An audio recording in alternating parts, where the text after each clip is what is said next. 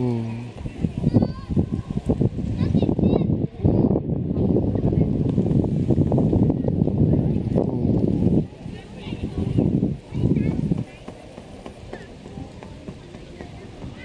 mình sẽ đi vào cái hang kia cái hang kia rất đặc biệt.